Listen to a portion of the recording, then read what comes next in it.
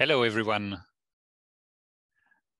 My name is Adrian Borry. I'm the project coordinator at Danish Refugee Council Diaspora Program. Um, I can see that many people are joining. Welcome to the webinar. We'll just uh, we'll just wait a few a few seconds so people can can join.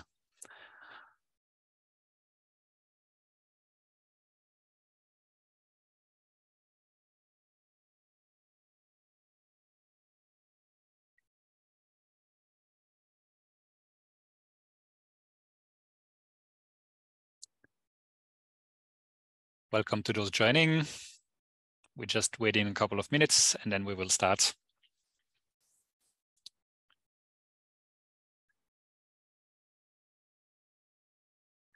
Great, and I can see that our panelists are also online. Perfect. All right, as we don't have a lot of time for this session, uh, let me start. So my name is Indrid Borry. I'm project coordinator at the Danish Refugee Council the Diaspora Program.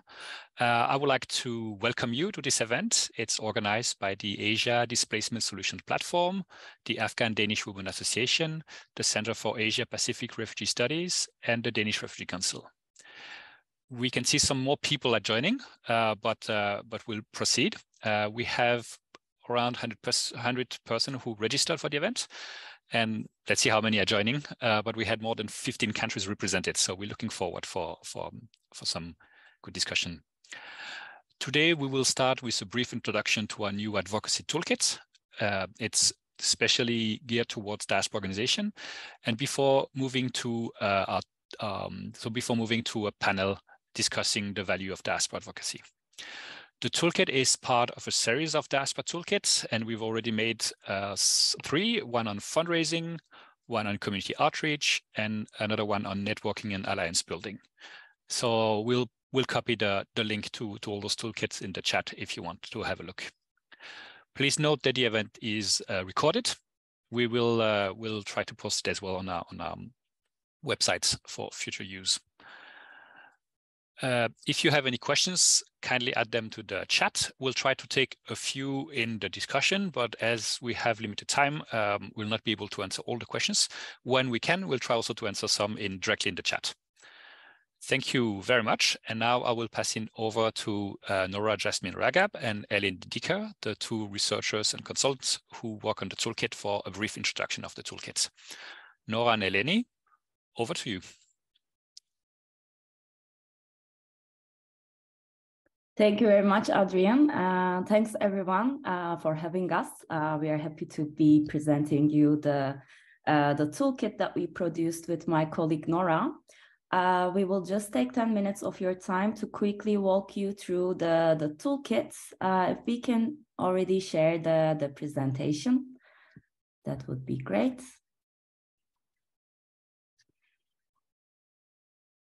And we can move to the next slide. This is the cover page of our toolkits, as you can see.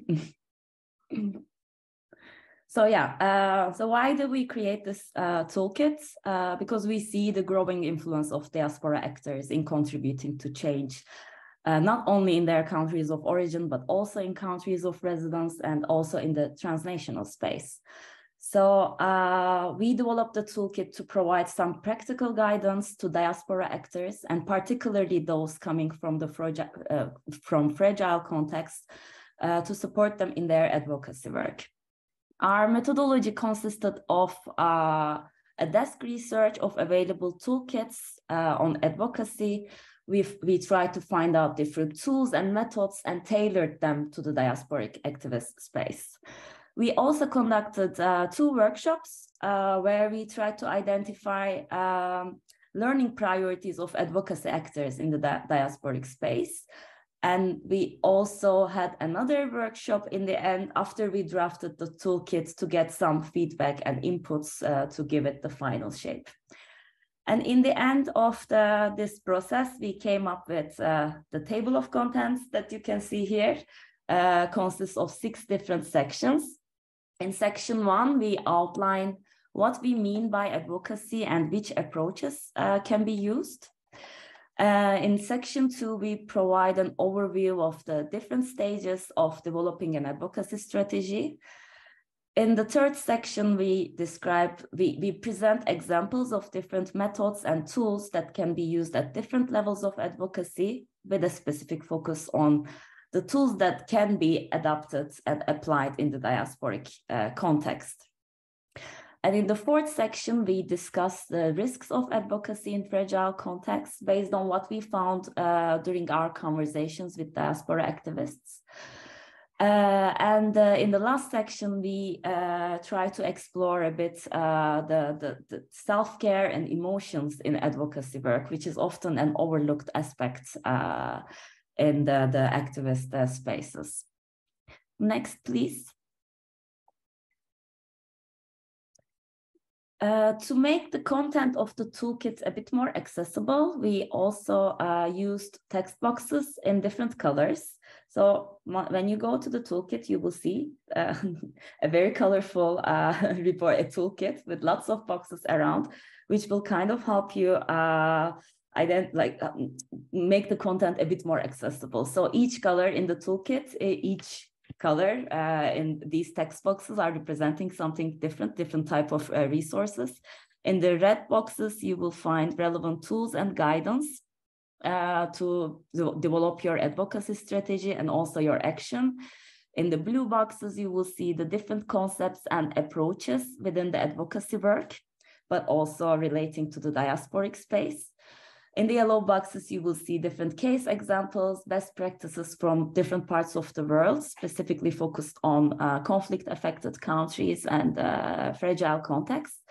And in the yellow boxes, you will see some additional resources which can help you further with uh, diving deeper into certain areas uh, in de designing your advocacy strategy, but also your action. Next, please. Uh, so we will also try to go through a bit uh, through the sections that we have uh, that I just introduced you briefly.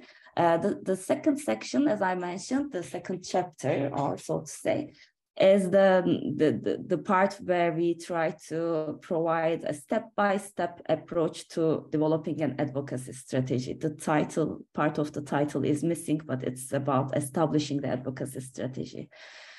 And uh, in this section, for example, we try to, uh, yeah, uh, we, we outline the different steps, starting with uh, setting up the priorities, like prioritizing the issues, analyzing the context, uh, which continues with setting your theory of change, developing a core message for advocacy, selecting your approach and also planning, uh, monitoring and evaluating. And for each step, for example, we try to provide different tools uh, that can help you while uh, designing the strategy. So you can see in this table, uh, the like a brief summary of actually this entire section and the different tools that can be used in every step of the advocacy planning, uh, advocacy uh, strategy planning. We also, I also tried to put an example of the uh, the boxes that we have. For example, in this section, we have a box with uh, an approach, a value-based approach that can be used while designing an advocacy strategy to raise awareness on certain issues. This is just to give you an idea of uh, how uh, this box system that we created will look like in, in the toolkit. Uh, since we have quite limited time, uh, I'll just pass to Nora. Yeah, thanks a lot for your attention.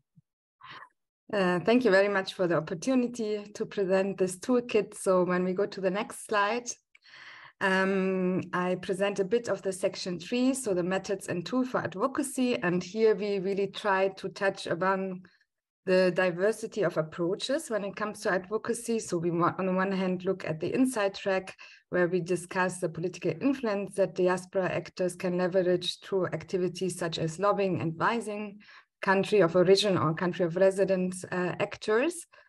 And here we really want to provide practical guidance, for example, how to organize a face-to-face meeting or how to uh, use letter writing as one way to influence. And the toolkit really tries to provide guidance on how to express our opinions and get our message through. Um, we also look here at the international human rights regime that can provide also a platform where diaspora actors can mobilize support and call for action. uh, especially then in the international arena. And we see that as part of your advocacy, uh, advocacy strategy, you can evaluate whether to bring matters to the attention to international or human rights bodies. And there are numerous of international mechanisms and the toolkit really tries to discuss different approaches and specifically also provides further resources on that topic. Um, when it comes to the outside track, uh, we discuss uh, the use of media as one essential part of advocacy campaigns. And when it's used strategically, it can really help to raise awareness on our issues, mobilize support and solidarity for our cause. Uh, and here we really discuss different tools and guidance on the mood, um, use of media for advocacy, ranging from press release to online post and podcasting. So we again try to um, yeah, discuss different tools. Uh, additionally, we also discuss the, the opportunities that diaspora can capitalize on uh, when it comes to expression and protest to indirectly influence decision making. And here the toolkits offer some tips and strategy to increase the likelihood of success, but also sustainability of protests and we finally discuss also the role of, role of arts and culture that can provide alternative spaces for raising awareness and advocacy work. And again, I also tried to um, give some examples on the toolbox. So you see uh, here on the one hand, uh, the podcasting uh, training um, as an additional resource, but also the checklist on planning demonstration marches and or rallies. So we always try to really give hand-on guidance. When we go to the next section, we discuss the aspects of uh, risk uh, um, and the importance of also having a risk analysis to ensure that uh, our advocacy doesn't bring harm to affected communities in any ways. And here we also discuss the, the aspect or maybe the uniqueness of diasporas that do need to take into account additional factors as they often operate in a transnational level. So acknowledging that risks are part of advocacy, uh, the toolkit provides some guidance on how to identify them, but also being prepared for them and dealing for them. Again, I gave here some uh, uh case example or best practice as an example of a tool uh, of a text box, but also here, for example, the importance of resources for digital security, which we need to take into account, especially in a digital age. So on the one hand, when we think about risk, we only we think about more the digital aspects, but then also the importance of uh, accountability and transparency and the consideration of ethical issues. When we go then to our final section which we want to explore. And this is one which I think really was driven also by the discussions in the um, uh, workshops we had. Uh, we see that social and political transformation happening in the country of origin often inspire diasporic actors to contribute to social change and being part of a movement can really be create a shared feeling of we-ness is energizing, rewarding, and empowering. But at the same time, often specifically when we think about projected conflicts, a constant exposure to death, displacement, and destruction not only leads often to a feeling of guilt and obligation to act, but can be also really lead to despair and frustration and resignation. And especially also in the context of residents, uh, diaspora actors may um, uh, yeah, experience uh, exile, displacement, but also instability and insecurity, uh, exclusion, discrimination, and racism. So, as a result, advocates may act in a constant mode of reaction in order to address these multiple challenges. And it hard to work under these conditions, often of exhaustion and trauma. So, being active in advocacy often means working high pressure and sometimes even hostile environments so we really also wanted to emphasize on the importance of emotions, but also the importance of um, yeah, self and collective care and providing tools how to maybe transform our anger towards a positive change, but also maybe engage in pleasure activism to celebrate uh, us and our communities. And I think, yeah, with this, we conclude the brief uh, insights into the toolkit. And yeah, we hope it helps uh, and brings, brings some inspiration for further action. Great. Thank you so much, Nora and Eleni. Um, I might just introduce myself quickly before I, I jump in. So I'm Evan Jones, uh, and I'm the manager of the Asia Displacement Solutions platform, and I'll be moderating the discussion today. But before I do, I just wanted to say thanks very much to Nora and Eleni. Um, it was an excellent overview of the toolkit. I think you captured it really well, especially given the fact that you only had eight minutes. Um, so you did well, and I know it was the result of a very comprehensive process of engagement with diaspora communities to make it as practical and as relevant as possible, which I think you've, you've really done. Um, as a bit of background, so the toolkit was born out of a uh, joint professional development seminar that was held uh, between the Centre for Asia Pacific Refugee Studies, ADSP and DRC in December 2021.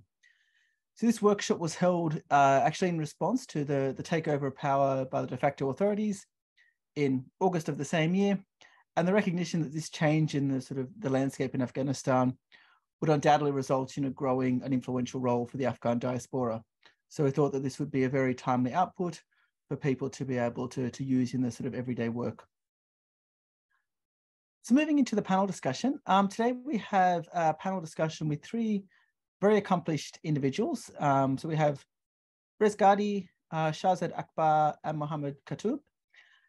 Um, and we thought that this would be a great opportunity to have this discussion um, because we could hear some of the practical experiences from Rez, Shaharzad, and Mohammed, which will hopefully A, spurn some good discussion today, but also hopefully generate some ideas and thinking um, for your own work in your respective contexts.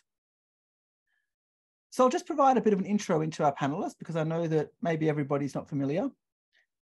So first we have Rez. Um, so Rez is the co-founder of the Center for Asia Pacific Refugee Studies, She's an international lawyer and also a human rights activist. Rez graduated as a Fulbright Scholar with a Master's of Laws from Harvard Law School, becoming the first Kurd in history to graduate from Harvard Law. Rez is also the co-managing director for Refugees Seeking Equal Access at the Table, RSEAT, which is a global initiative seeking to solidify commitments from states to enshrine refugee participation in the global refugee regime. Her previous roles include working as a legal officer for the New Zealand Human Rights Commission, as a commercial litigator at New Zealand's preeminent law firm, as a lecturer on international law and human rights, and most recently in Iraq as a Harvard Human Rights Fellow, building on cases for the prosecution of ISIS regarding their targeted genocidal campaign against the Yazidis. Rez has a wealth of experience advocating for the rights of refugees at the Global Fora, and she's also the founder of Empower, a youth and refugee-led organization uh, which addresses underrepresentation of refugees in higher education. So welcome, Rez. Um, our second panelist is Shaharzad Akbar. So Shaharzad is a human rights activist from Afghanistan, currently in exile, and is the executive director of Rawadari, and apologies, Shaharzad, if I've mispronounced that, um, a recently established Afghan human rights organization. Shaharzad is also a visiting scholar at Wolfson College, Oxford, and an uh, Academy Associate with the Chatham House. Shaharzad has a diverse professional background in human rights, media, culture, and youth mobilization. She's a board member for the International Service for Human Rights and a member of the International Advisory Council for the Institute for Integrated Transitions. Shaharzad's experience spans establishing and running a consultancy firm in Kabul, supporting Afghan civil society and media in her role as country director of Open Society Afghanistan, and working with the government of the Republic of Afghanistan on development issues. Prior to the Taliban takeover of Kabul in August 21, Shaharzad was the chair of the Afghanistan Independent Human Rights Commission. Shaharzad has advocated for the human rights of Afghans, a dignified and just peace, and accountability for gross violations at the international level, including through engaging with the UN Security Council and UN Human Rights Council. Shaharzad's writing has appeared in Afghan international media, including Foreign Affairs, Washington Post, Newsweek, CNN, Al Jazeera, Just Security, and other academic journals. Shaharzad completed her Master of Philosophy at Oxford and previously obtained her BA from Smith College in the USA. Thank you, Shaharzad, and welcome. And last but not least, we have Mohammed Katoub. Mohammed is a humanitarian activist and human rights defender with 10 years experience in monitoring health-related violations.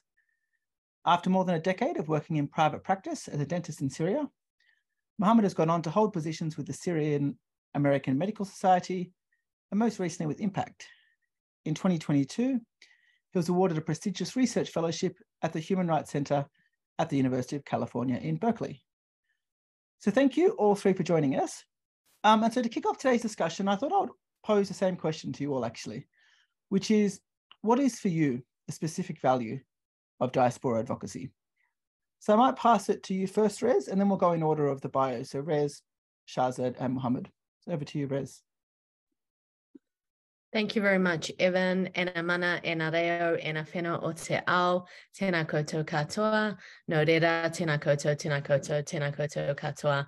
Um, my name is Rez Gardi. Um, I'm a former refugee and I come from a Kurdish background. I was born in Pakistan as a refugee and now I call Aotearoa New Zealand home. And so I greeted you first in Te Reo Māori, the language of the Tangata Whenua indigenous people of Aotearoa New Zealand. Um, for me, it's you know, despite being on the other side of the world right now, where I'm calling in from Geneva, Switzerland, it's important for me to start with a pepeha in respect of the place that I was fortunate to be resettled and given a home away from persecution in Aotearoa, New Zealand. And so that really grounds me um, as a diaspora community um, wherever I go, New Zealand is still an aspect of being Kurdish, but also New Zealander um, as part of my identity. For me, the most important part, um, and, and I think we'll have time to get through to, to the specific advocacy and um, for me and how that relates to uh, my identity as a as a diaspora Kurd. Um, but for me, the most important aspect is um, it, it's it's twofold. I think firstly, um, being away from from um, our homeland, uh, it's a sense of um, identity formation and connection to our roots at the same time. So th- the advocacy is not just in itself advocacy, but it's also grounding us and connecting us with with our roots, and uh, as a way of showing um, where we've come from, the struggles that our people have had, and then also ensuring that we don't let go. So I think that's really an important aspect of the advocacy that I see within the Kurdish specific context. Um, and I will talk more about that a little later on. But that's an important part, I think. It's um, sometimes we think about just the impact that we're, we're trying to aim for, the changes that we're aiming for, but also I think the reasons why we begin doing this advocacy as well is really important. The, the way that we're trying to reconnect with our roots, um, and for, for for a lot of diaspora. Um, either they were very young when their family was resettled or um, they fled their homeland or you know whatever path they took have ended up um, in a country outside of their um, original context, um, or they've been born in the diaspora, which I see a lot with the young generation that are very active, almost more active than um, some of the previous generation, older, for example, my parents' age, who were human rights activists, who were um, uh, fighting for Kurdish independence and Kurdish rights to be recognized. And I see a shift in that generation really um, calming down and not really being as active. But then younger generations, especially those who perhaps had never even been to their homelands, being increasingly active. So I think this aspect of identity formation and connection to your roots um, and a journey of who I, who am I what is my story what is my place and purpose is really fundamental that often we miss um, the second point is uh, for for our communities in particular, and, and I think it'll be the case for, for many others, is that the privilege that we have being a diaspora also means that we have the platforms, access to events and people, um, and freedom of expression to talk about these issues. Um, there's still some risk. Of course, we know that eh, these risks are not without limits, especially if you're talking out against quite powerful governments that have people all around the world.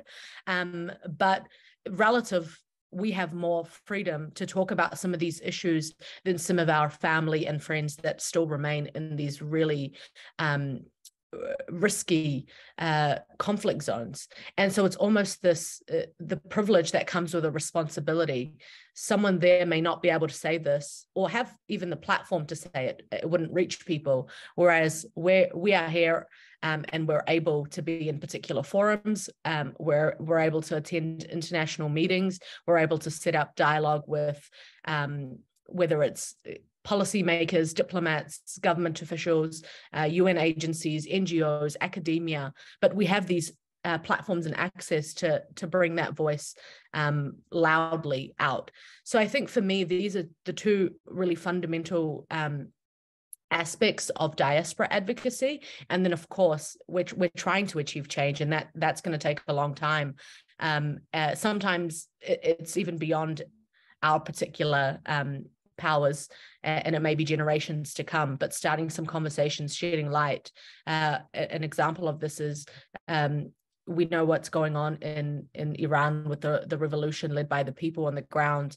Um, there's constant internet shutdown, so those of us with family there are able to receive news of what's going on and share that um, outside uh, the country.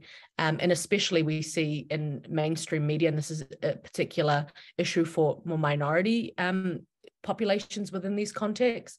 If I look at the media, there's barely anything about what's happening in the Kurdish parts of Iran, whereas the Kurdish parts of Iran are disproportionately targeted with really brutal military style campaigns.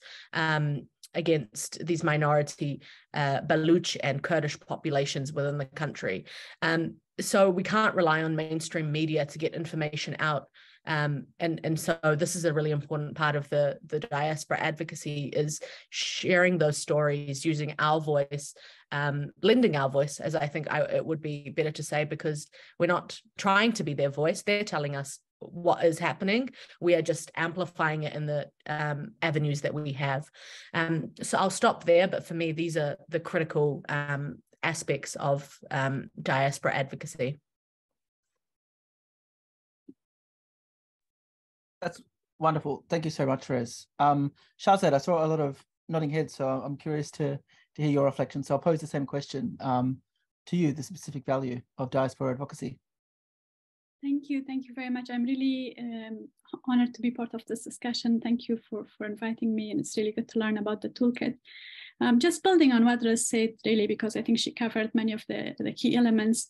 I see three specific values, uh, values in our context, in Afghanistan particularly, to um, uh, diaspora advocacy. One is bridging. Um, the second one of it is really about contextualizing.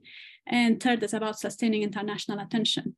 Um, in terms of bridging, I really think one of the key roles and most responsible roles for um, diaspora is to bridge people on the ground, people on the uh, front lines of activism and also on the front lines of oppression because they're being, you know, threatened and intimidated and harassed to policymakers in, in the countries where we are, uh, in the countries where decisions and policy uh, policy decisions are being made that may have implications for our homeland, uh, for our people.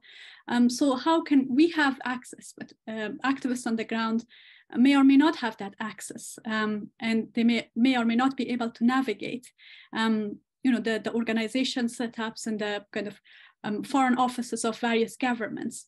So to what extent uh, are we doing this bridging? To what extent when we have an opportunity to speak to a policymaker, we are saying also, okay, I'm happy to, I'm happy to share what I know, but I'd recommend and I can put you in touch with people on the ground who can share their views directly from the situation um, on the ground in a, in, a, in, a, safe way, of course. But I think this bridging role is very, very important.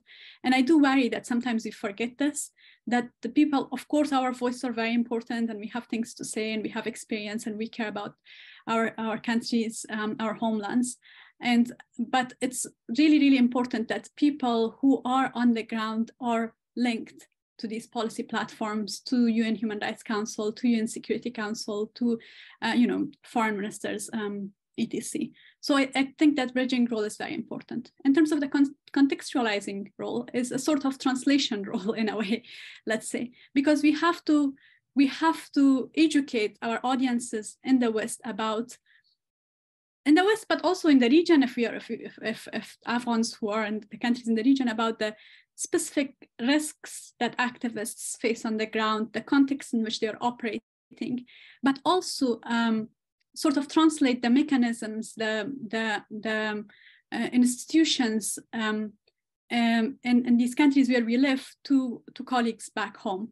Uh, and one example of that would be, you know, if, if you uh, if you convince um, if you convince a policymaker to listen to a group of activists from the ground, then you can help uh, the activists um, um, prepare, in a sense, say, giving the context for where this policy maker comes from, you know, what's her or his political background, um, the influence that this person has in their country, uh, which kind of recommendations they might be most interested in. So that sort of translation context, contextualizing role is, I think, very important. And we have an added value there because, um, you know, I, when I was in Afghanistan, for instance, we were really focused on, embass on embassies. But since I have I have come and lived outside Afghanistan for the past over a year, I'm realizing the importance of parliaments and building relationships with parliaments.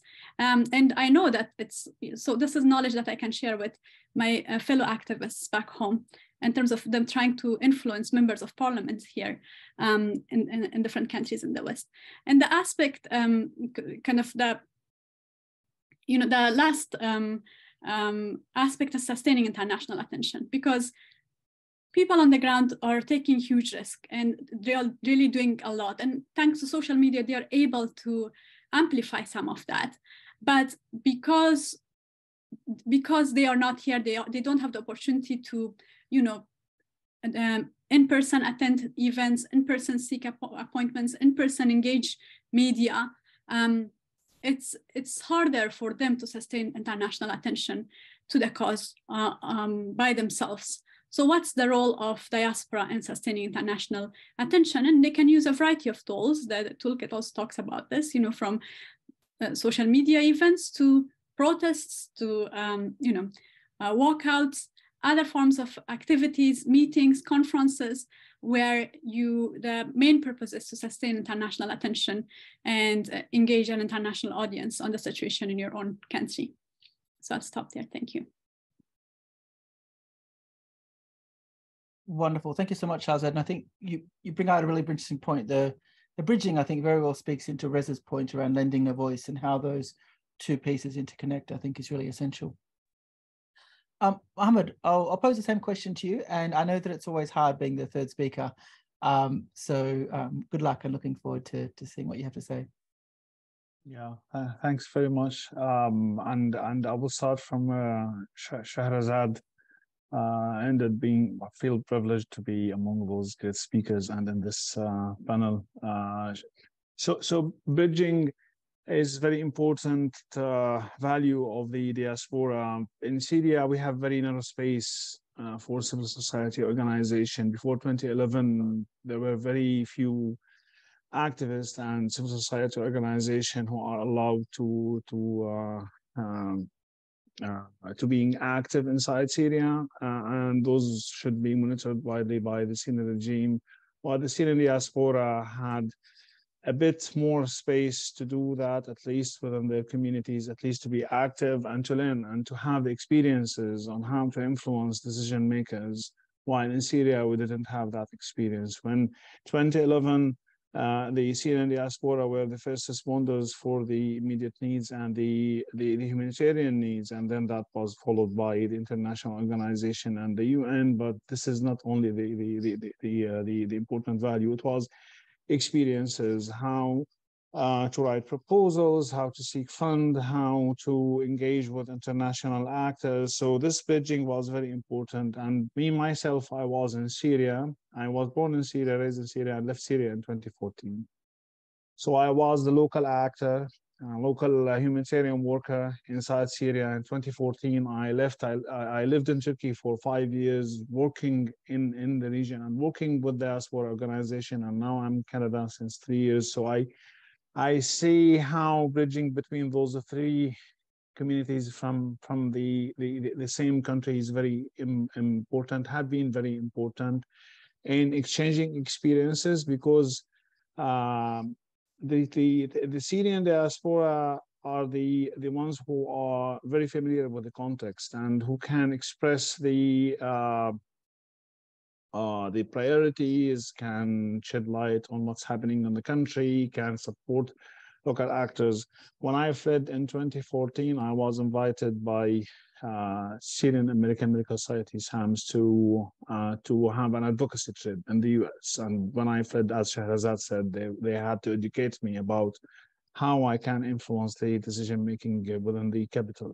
How how how can I uh, work with the UN agencies? I was like I had zero information about about that. Visiting the US for the first time from a country living in the, in the dark, so even electricity was was something new for me. With like two or three years without electricity since the war started, the all the services was cut at the non-government areas by the Syrian regime. So we lived in a siege.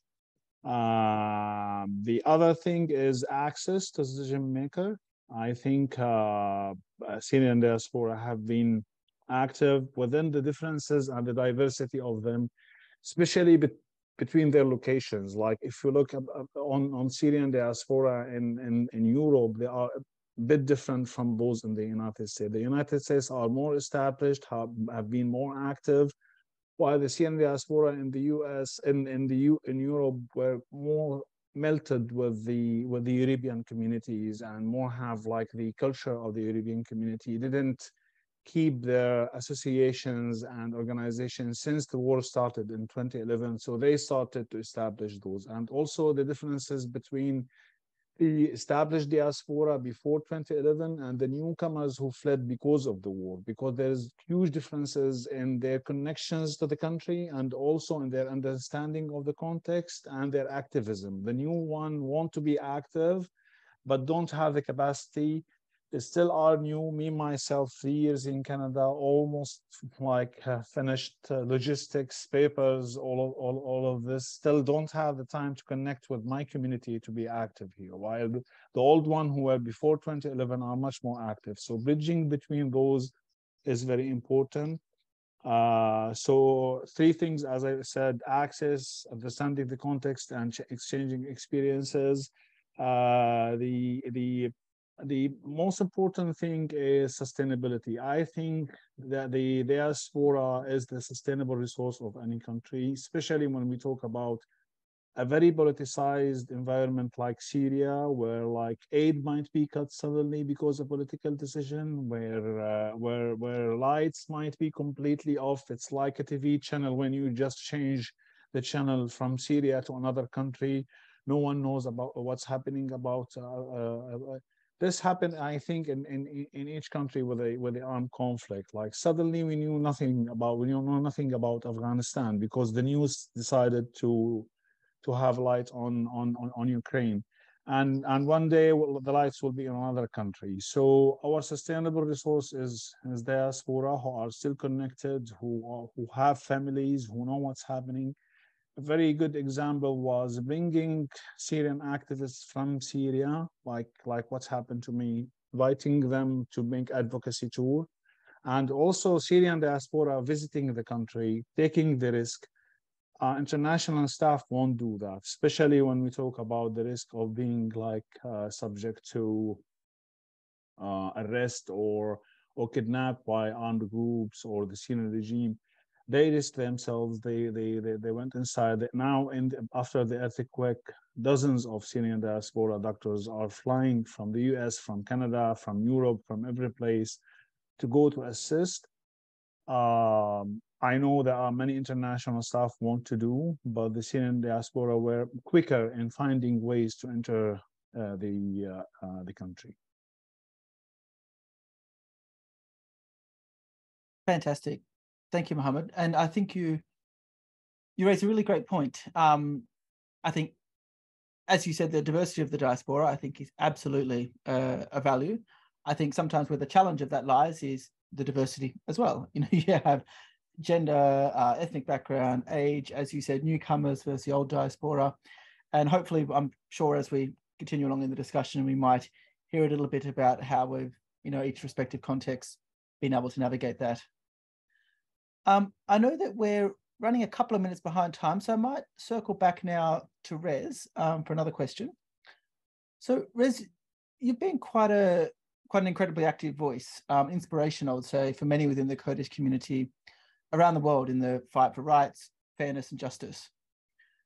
You mentioned in your sort of answer to your opening question um, about a reflection on your journey, especially being based in New Zealand and being quite distant, um, you know, from a very young age. So I was wondering if you could tell us maybe a little bit about your success, despite the fact that you've spent the majority of your life in faraway New Zealand. Thanks, Evan. Um, so a little bit, I guess, of positioning of the context so that you know I can help make sense of um, the kind of activism and, and the connection that I and other um, um, diaspora Kurds have had. So Kurds um, have an estimated population of approximately 25 to 40 million people. Um, difficult to say because the countries that we're located within don't often um, take the data for for Kurd, Kurdish minorities, but an estimated 25 to 40 million around the world. Um, and so we're the world's largest ethnic group without a state. Today, Kurdistan is divided amongst four different countries. So, northern Iraq, which we call southern uh, Kurdistan, Bashur, uh, southeastern Turkey, uh, which is northern Kurdistan, Bakur, northwestern Iran, which is eastern Kurdistan for us, Rojhelat, and northeastern Syria, western Kurdistan, Rojava.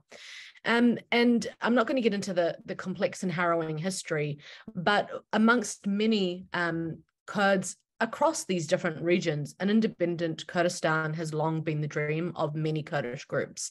And, and, and I'm also not going to get into the reality of whether that's possible or not, um, very complex legal arguments. But it has been at least um, at like a emotional level long the dream of many Kurds. Kurdistan remains divided by the repressive uh, colonialism of these states, who have, for the large part of history, stifled any attempts by the Kurds of securing freedom against domination in their struggles for the recognition of their minority rights. Um, in, in each of these contexts, uh, Kurds have similarly um, experienced oppression, discrimination, assimilation tactics, ethnic cleansing, and then um, in, in extreme situations, genocide at the hands of um, their oppressors. So Kurds um, are amongst one of the most persecuted minorities of our um, of our time. Until very recently, it was illegal to speak Kurdish in Iraq, Iran, Turkey, and Syria, and all uh, vestige of Kurdish existence was banned. Nowadays, even if some of the the legal um, uh, wording, you know, on paper has changed and, and there aren't legal bans against the language, we still see the practice. So a number of um, Kurdish teachers were arrested in um, Iran recently for teaching Kurdish language um, in schools to the children. Policies towards Kurds have been described as ethnocide and linguicide, referring to deliberate acts that aim at the extinction of the Kurdish culture and language. Um, and the lack of a sovereign entity undoubtedly distinguishes the Kurdish diaspora from other state bound diasporas.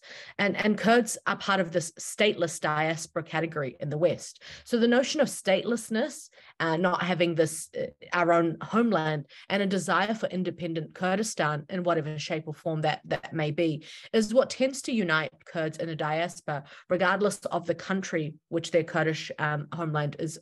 Uh, located within. So whether that's Iran, Iraq, Turkey, and Syria. And this becomes critical to our identity formation. Um, so for Kurdish people, forced exile becomes essential to this heightened sense of longing for our homeland, and it becomes central to the understanding of the Kurdish diaspora as distinct from other diaspora.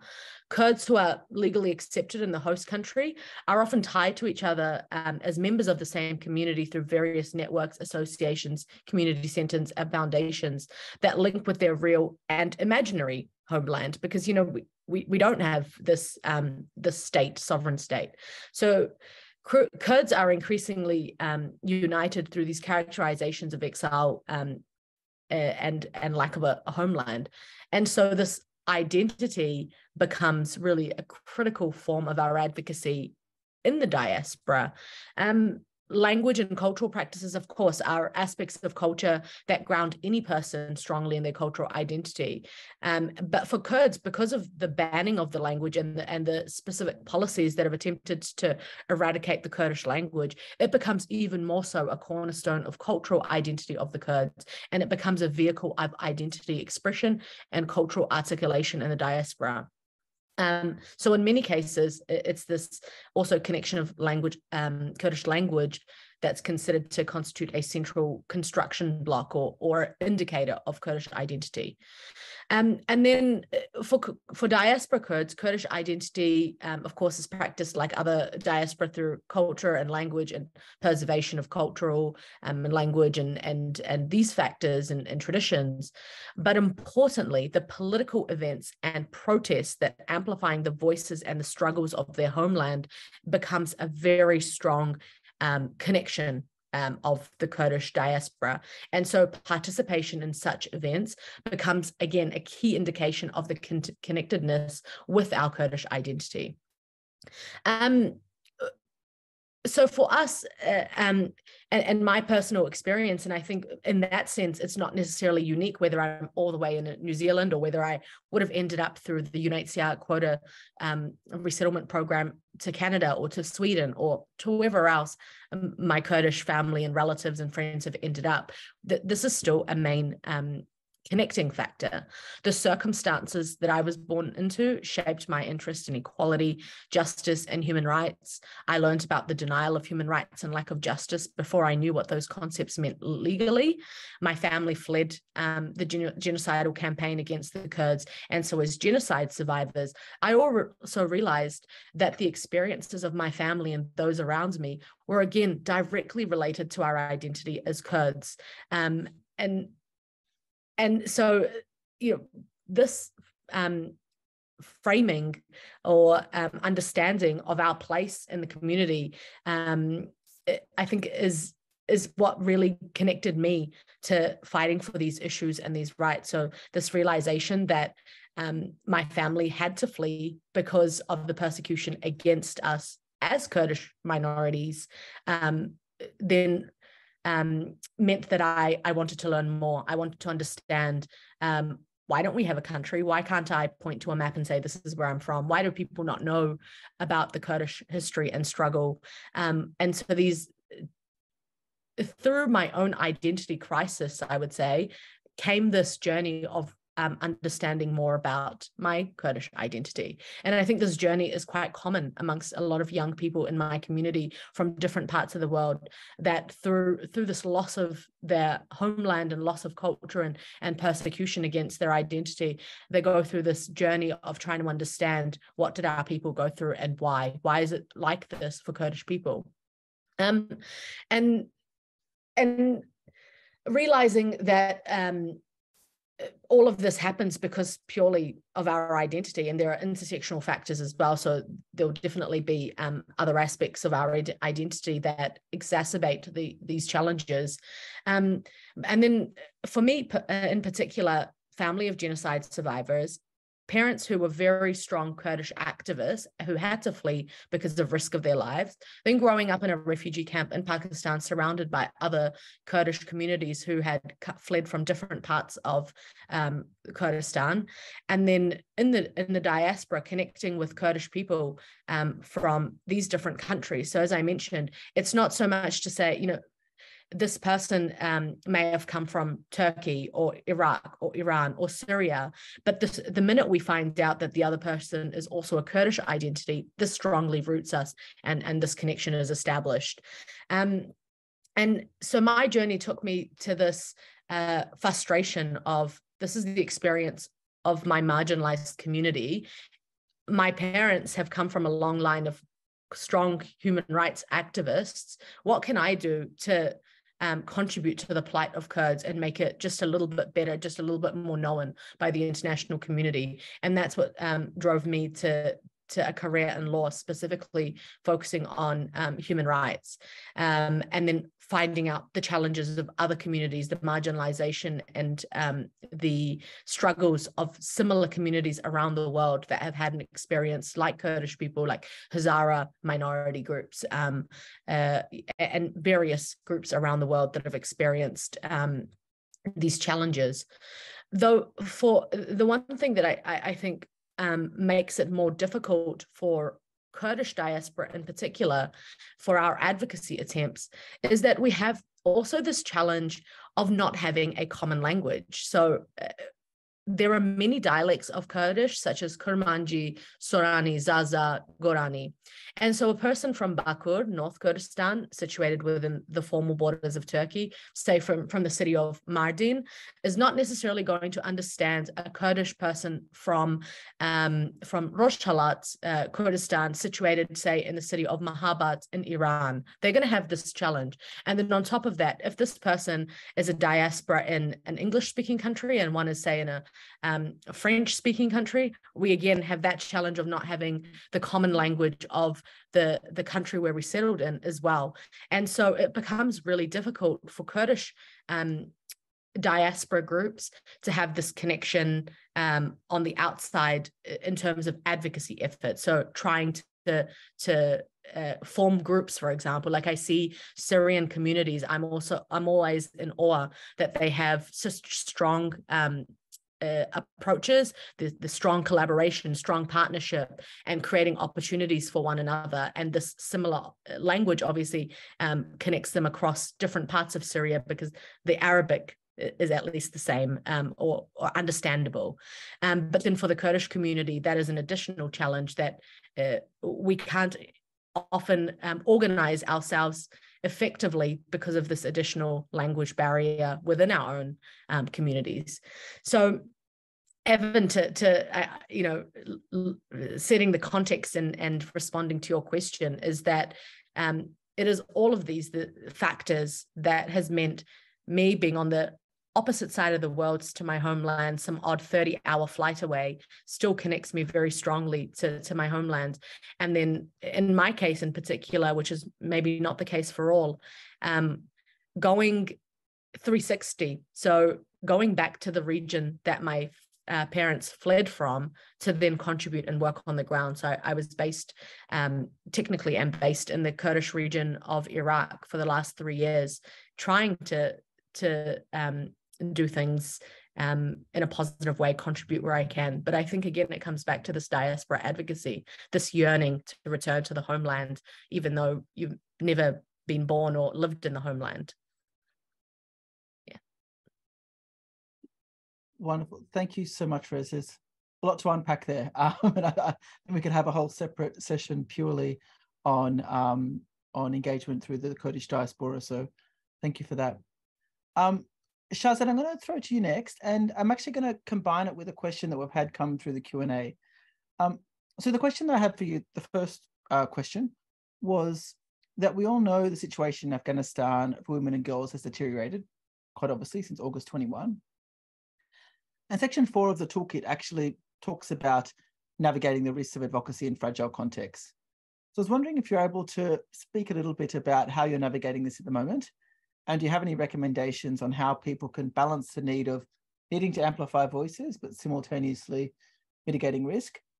And then a second question, which has come through in the chat, is I would love to know how the diaspora can be a bridge between suffering uh, uh, individuals inside Afghanistan and the international community besides lobbying?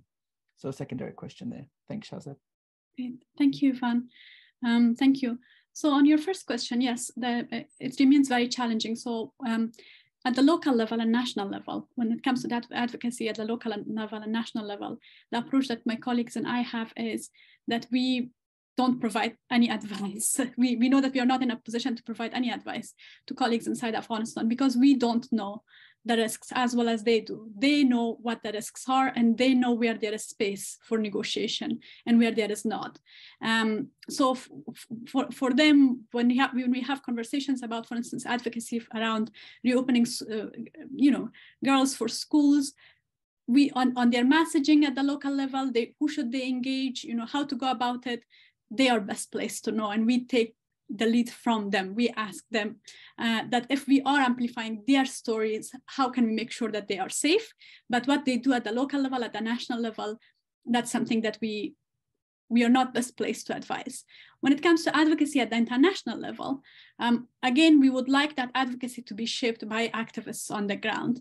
So we run our advocacy, for instance, when we are working on a report, we like to run our recommendations of our report with um, activists that we know inside Afghanistan and say, what do you think? What needs to be added?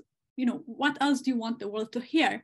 And we may not always agree, uh, there are there are times that we don't agree, but we always want to make sure that it's something that they have an input uh, on. But then, in terms of how to amplify their own specific messages, do no harm comes first. So we have we are constantly checking with them if because they also want to be acknowledged. They're active, they want their activism to be acknowledged. They want to be recognized. I'll give an example of the women protesters in Afghanistan. Women protesters in Afghanistan, they are the biggest um, um, civic resistance against Taliban right now inside the country. And they want this to be known. They want to be recognized as a force. Um, so they want us to talk about them. They want us to highlight their stories at the international fora. They want us to connect them with policy makers and with media outside Afghanistan.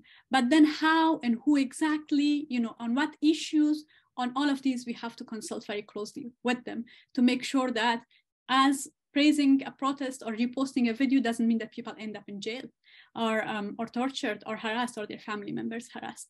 Um, in terms of the question uh, in the chat, besides lobbying, well, there are many ways in which I think there are many ways in which a diaspora can be helpful to, to, the, to the country. I think the questions in this kind of the, our discussion was specific to advocacy. So which is why I focused on advocacy, but also Afghans in diaspora are organizing to send, for instance, aid inside the country. They are making a, an economic contribution. They are helping young girls um, have access to online education. They are uh, introducing people for scholarships. They are advocating for human rights defenders in Afghanistan for visas and resettlement. So there are other ways in which the diaspora can make itself useful of course, the Afghan diaspora, again, there are multiple waves of it. The diaspora that has recent, I mean, the, the group that's in exile, I think is more appropriate. The group that who has been, you know, recently uh, forced into uh, exile, some of them are still figuring out the logistics of their own lives.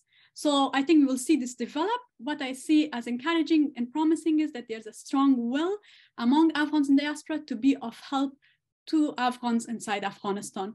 To what extent we are being effective, I think we could be much more effective but there is this will and there is this engagement on how to make our uh, you know how to make ourselves uh, of value to to all afghans inside the country. Thank you. Thank you fantastic shaharzad and, and well done on um on time. Thank you. Um mohammed i know we only have a few minutes left but of course we'll we'll extend by a few minutes to make sure you have the space. But I was wondering if you could reflect on on the question that we have for you, which was that you've been quite successful in managing to bridge the divide and sort of navigate the nuances between humanitarian and human rights advocacy for stronger impact. And again, if we sort of go back to the toolkit, section two talks a little bit about developing an advocacy strategy. So I was wondering if you can perhaps talk us through how you did this and managed to bridge that divide in, in your own work.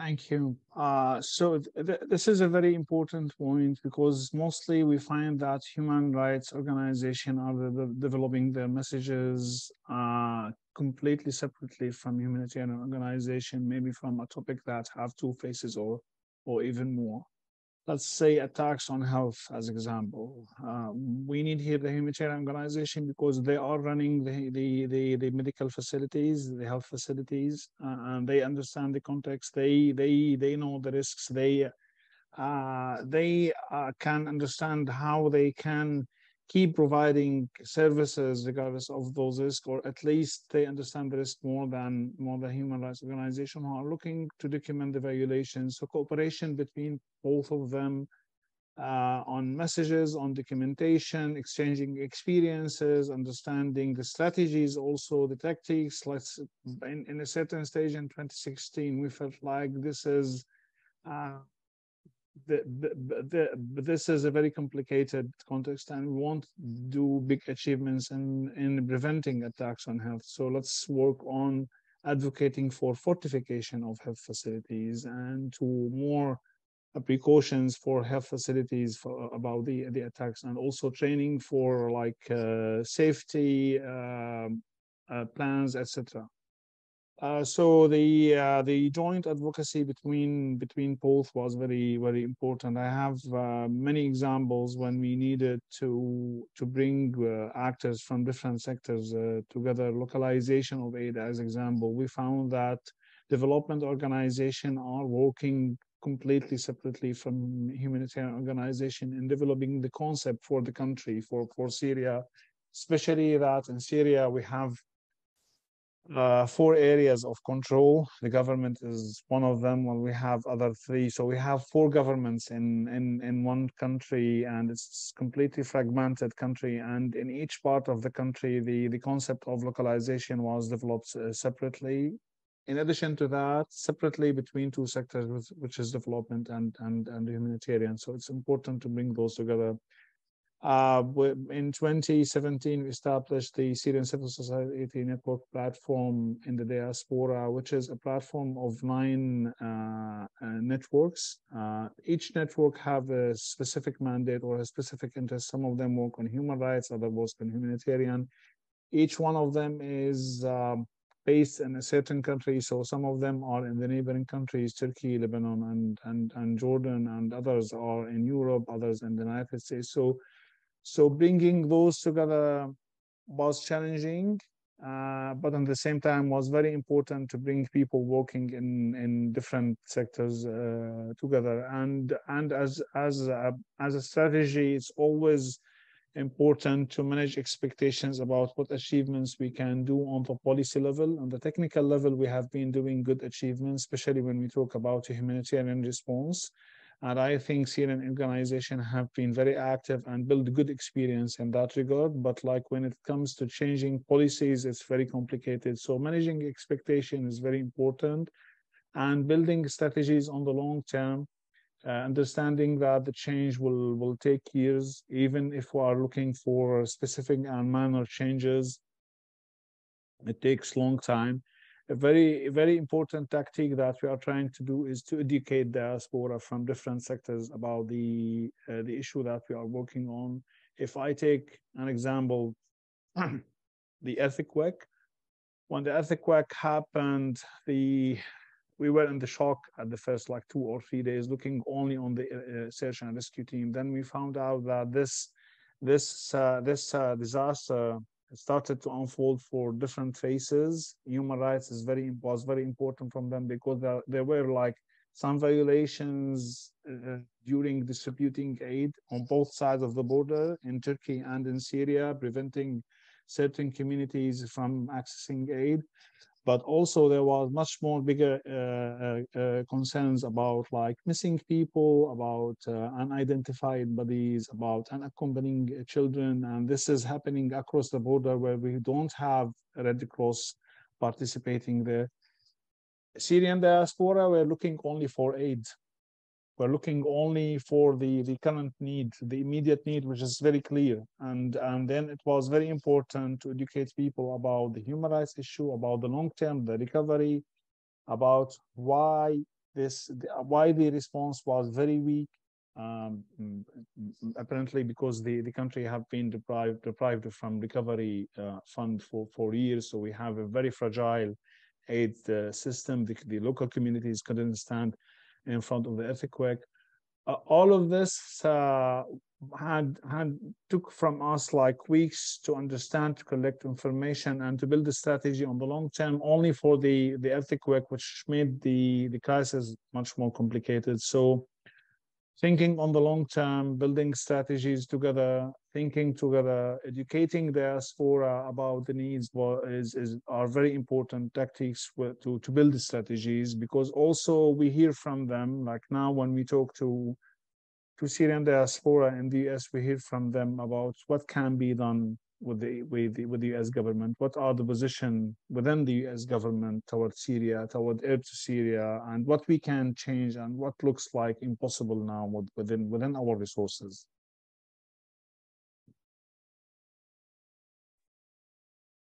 Perfect. Thank you so much, Mohammed, for that. And I know we've got a few minutes over time, so I, I do apologize and I thank everybody for their patience.